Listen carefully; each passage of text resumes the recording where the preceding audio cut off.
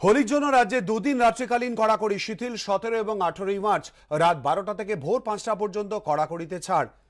হোলির জন্যই রাজ্যে দুদিন রাত্রিকালীন কড়াকড়িতে শিথিল সতেরো এবং আঠেরোই মার্চ, রাত বারোটা থেকে ভোর পাঁচটা পর্যন্ত কড়াকড়িতে ছাড়।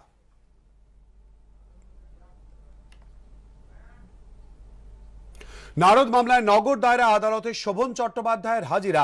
নারদ কাণ্ডে ইডি দায়ের করা মামলায় হাজিরা শোভনের। রাজ্যে দুই কাউন্সিলর খুনের ঘটনা অনভিপ্রেত। প্রশাসনকে উপযুক্ত পদক্ষেপ নিতে হবে।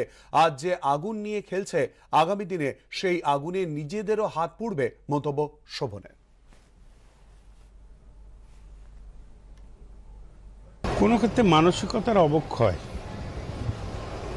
এটা খুব দুর্ভাগ্যজনক। একজন প্রতিনিধি নির্বাচিত হয়েছেন। ক্ষোভ, অভিমান, বহু কিছু থাকতে পারে। তার একটা প্রসেস আছে প্রসিডিওর আছে। কিন্তু যেভাবে পানিহাটিতে মৃত্যু এস, আর ঝালদায়ও যে ঘটনা ঘটেছে, আমার মনে হয় যে প্রশাসন নির্দিষ্ট দায়িত্ব নিয়েই পুরো জিনিসটা সমাধান করুক, এটা হোক। এটা একেবারে নিচু তলা পর্যন্ত পারকুলেট করতে হবে। এটা খুব দুর্ভাগ্যজনক। আমি তার পরিবারের প্রতি ঝালদারি বলুন, পানিহাটি বলুন, সমবেদনা জানাই, কিন্তু এটা কখনোই এক্সপেক্টেড না। দক্ষিণ দিনাজপুরের বালুরঘাটে জয় চাঁদলাল, প্রগতি বিদ্যাচক্রে তাণ্ডব, প্রধান শিক্ষকের অনুমান, নকল করতে বাধা দেওয়ায় রাতে হামলা চালিয়েছে বালুরঘাট উচ্চ বিদ্যালয়ের কয়েকজন মাধ্যমিক পরীক্ষার্থী। অভিযোগ মানতে নারাজ অভিযুক্ত স্কুলের প্রধান শিক্ষক। তছনছ অবস্থা স্কুলের। ভাঙচুর করা হয়েছে ভূগোলের ল্যাবরেটরির সরঞ্জাম। হামলা করা হয় লাইব্রেরি রুমেও। আলমারি ভেঙে তছনছ করা হয়েছে বই। বাঁকিয়ে দেওয়া হয়েছে স্কুলে সিলিং ফ্যানের ব্লেড। এই ছবি দক্ষিণ দিনাজপুরের বালুরঘাট জয়চাঁদলাল প্রগতি বিদ্যাচক্রের মঙ্গলবার ছিল মাধ্যমিকের ভৌতবিজ্ঞান পরীক্ষা। তারপর রাতের দিকে হামলা করা হয়েছে বলে অভিযোগ করেছে স্কুল কর্তৃপক্ষ। কারা হামলা চালালো? কেনই বা চলল তাণ্ডব? তা নিয়ে ধোঁয়াশা তৈরি হয়েছে।